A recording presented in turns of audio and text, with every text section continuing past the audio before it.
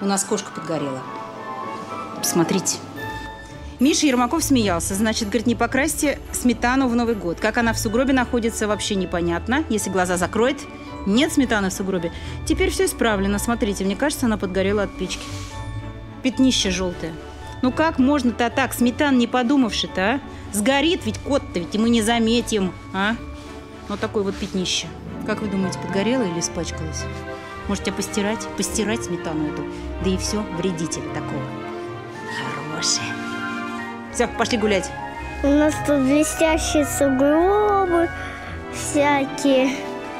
Вот, вот наш дом. Ах, пирог. Пошли с вами сюда.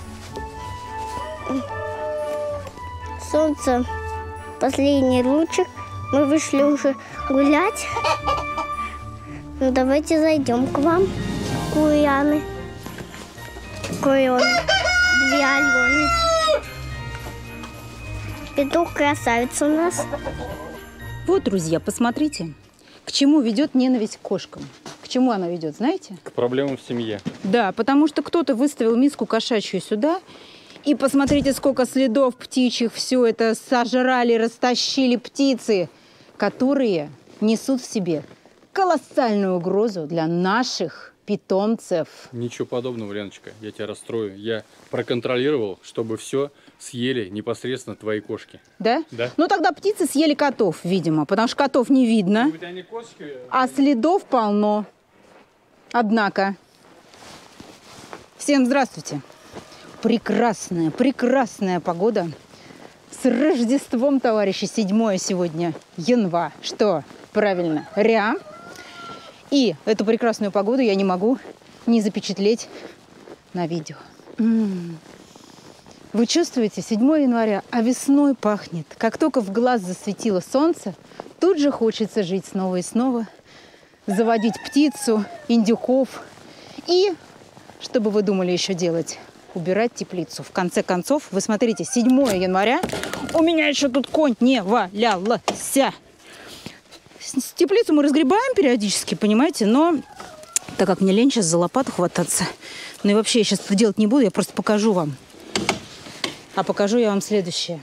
Когда вы спрашиваете, хорошо ли иметь теплицу для птиц, вот если у вас такая, такого размера теплица, и именно в такой день, в один из 365 дней в году, зимой у вас будет вот такая вот температура. На улице солнце, и в теплице, конечно же, в поликарбонатной, плюс 10. Видите, да? Плюс 10 градусов. Хотя на улице минус 8. И вот здесь сейчас птицы ваши было бы просто рай на земле, да. Классно, супер. Она может и порыться, поискать тут что-нибудь и так далее. Пришла по другой причине. Хочу сказать, что если вы хотите в теплице в такой содержать птицу зимой, то имейте в виду, у них должно быть закуток, который будет как-то отапливаться, может быть, греющим кабелем, может быть, теплый пол, может быть, теплый пол на потолке, там что-нибудь еще, что угодно. Но ночью здесь реально дубак. Дубак, товарищи, страшный. И поэтому думать о том, что птицам будет комфортно в теплице вот в такой, в маленьком количестве, нет. Только в большом. Поэтому идем в мою теплицу, в которой в большом количестве птичка. И я вам кое-что еще покажу. Хочу сделать для вас ежедневник. Это видео будет в первый день. Завтра мы с вами сходим еще в один уголок нашего хозяйства, а потом в еще один, а потом еще в один. Уголков полно. Попробуем такой формат. Ну, конечно, если дверь открыть не в ту сторону, она не будет открываться. Здесь за счет того, что у нас есть утепление по всему периметру поверхности теплицы, кроме торцов, у нас с вами здесь гораздо более темнее и влажнее и жарче. Вот здесь прямо жарко. Мой изолятор. Ага, курица открыла глаз. Молодец. Короче, это те самые легорны, которых обижают. Мне нужно с ними что-то сделать. Мои зайки поправляются вот здесь, а те, кто их обижает, живут напротив. А, сдвинули даже гнездо. Здесь я объединяю сейчас два петуха. Такие здесь терки, мама, не горюй. Вот там у них, видите, яйца лежат. Кто там мимо снесся. И вот с этой стороны у нас все хорошо с подстилкой, вы сами видите, да? Смотрите, какая хорошая. Да, никаких претензий. О, подстилка в курятничке зимой. Ну, блаженство же, ну, скажите. Она не новая, но не старая, а вон еще яйцо, да? А чего мимо гнезда-то все, девки? Такого за вами не водится обычно. А знаете почему? Потому что здесь теплый пол. Видео в углу экрана.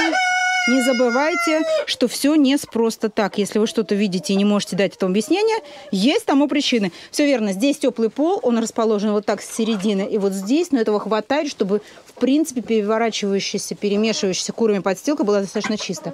Вот второй петух. Что на нем? На нем, ребята, очки. Это очки не от солнца, как вы понимаете. Это очки от свинского и скотского поведения двух петухов, которых пытаешься объединить. Вот эти очки, они, конечно, помогают. Но они, к сожалению, влияют также и на оплот, товарищи, потому что петух курицу впрямую не видит, все делает на ощупь.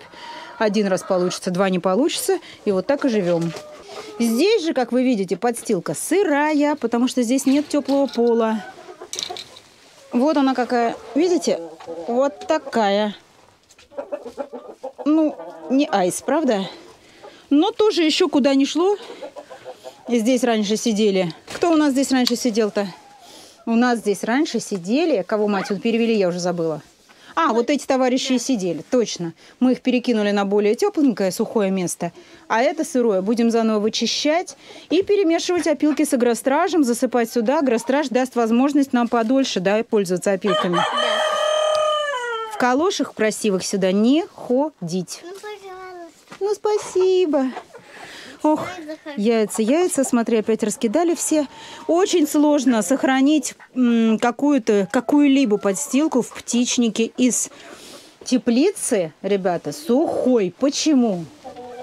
Во-первых, потому что самая большая здесь проблема – это конденсат. Не такой холод, как конденсат. Если куры сидят на полках тяжелые, все они стаптывают в эту плиту, говноплиту, как вы помните. И очень все фигово получается с подстилкой, хоть каждый день подсыпай, и все равно эта влажность. В данном случае у нас отбойники скатываются по стенам вниз, но бывает, что и не вниз. Бывает, что они забьют подстилкой вот это вот расстояние между этим отбойником и э, стеной, и все попадает все равно на подстилку. Если вниз, то получается, что в любом случае у вас здесь при открытом грунте существует большая-большая влажность, которую подсасывает эта теплица. Пол здесь не промерзает, поэтому с боков сюда все равно точка росы получается вот так наискосок от э, борта, как вы понимаете. И все равно здесь полнехонько влажности. Засыпаем эту теплицу по возможности. Ага, по возможности засыпаем эту теплицу снегом, но все равно так хорошо не получается. Пошли на улицу. Ага. Ну, вот так выглядит наша теплица. Вот с этой стороны, видите, по максимуму засыпаем снегом. Если вы видите, то здесь тоже при определенном раскладе ледяная, ледяная корка образуется с сосульками, да, Плюшка? Да. С сосульками. Так, снег не спускай от, от теплицы подальше, стой. Точно. Будешь лизать ты? Не. Ты уже большая Ага. для таких вещей? Ну все. И видите, сверху лежит снег. Как понимаете, снег это тоже отличный утеплитель. Поэтому вот в таком формате птицы могут существовать. Но тогда мы не говорим с вами о таком формате солнца. Если мы говорим о формате солнца, ура, они бегают там все э, в купальных костюмах, загорают и в очках, то нет, товарищи, вот в этом птичнике, если бы это был птичник, во-первых, птицы надо забить в два раза больше по площади и по объему, а во-вторых, здесь будет колоссальная влажность, сырой пол и должно быть много кур, чтобы было достаточно тепло.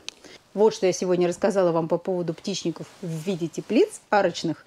Нужно использовать арочную теплицу в виде птичника? Нет, не нужно. Если очень хочется, то можно.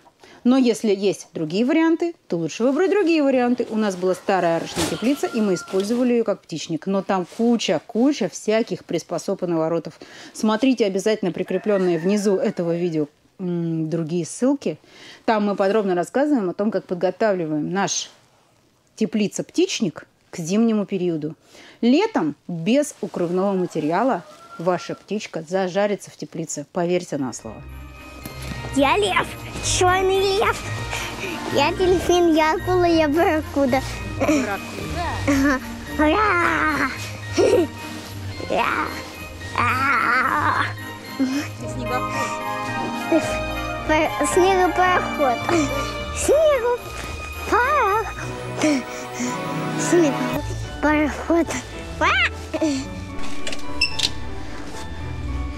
Ну что, как у вас тут дела? Мы немножко поиграли с ребенком. В сугробе. Спустили ваши сугробы, не будете ругаться? Ну, конечно. Да ладно, не гоните. Как разгоню. Так. Вот, ну, скажите, что я не права, и что это не бульбулятор, а? Ну, как это еще назвать? Красиво, скажи. Булькает же. Во, бульбулятор. Гравицапа еще можно сказать. Или как там ее.